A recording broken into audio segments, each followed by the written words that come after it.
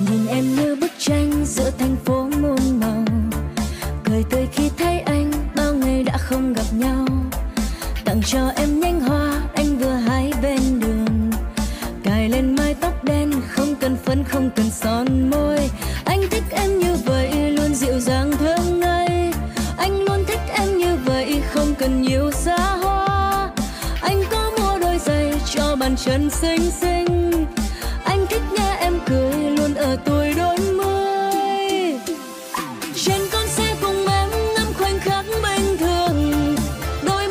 I'm sorry.